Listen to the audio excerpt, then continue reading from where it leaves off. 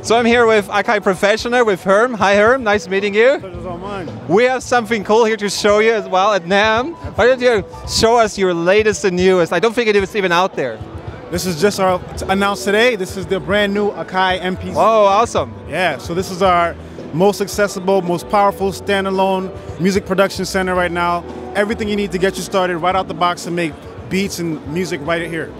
Awesome, MPC One. Now I can see here it has everything. It has pads, it has a complete control section, recording and everything. It has an entire screen here where you see all your tracks and you can set markers and for your different instruments and things you set.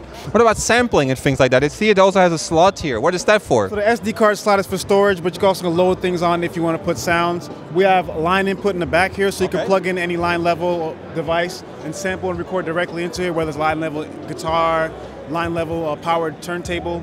So uh, you have this touch screen here, seven inch Yeah. touch capacitive, gestures. You have built-in sounds, plugins in here, drum content.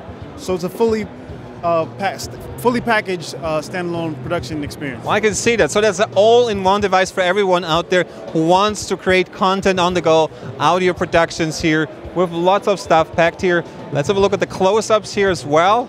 And so when will this be available for everyone out there? So we announced it today. Um, you, you'll be able to get it from your favorite Akai Professional dealer next month.